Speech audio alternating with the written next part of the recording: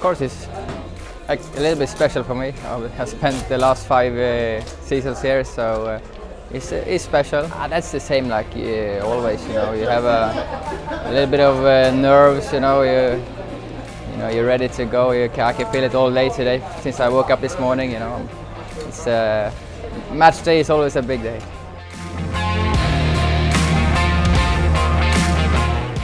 Another game. You know, this is a new chapter in my career. Uh, now I'm with Lublin, and uh, you know, I'm gonna do everything that I can, give 100% to for us to win.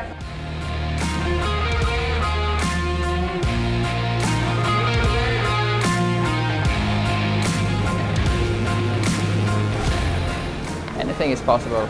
But uh, you know, I'm here. I'm not here to look into the crystal ball to expect to, say what the future is going to be. But anything is possible, and you know, we're sure going to do everything we can to make it to the final in Lublin.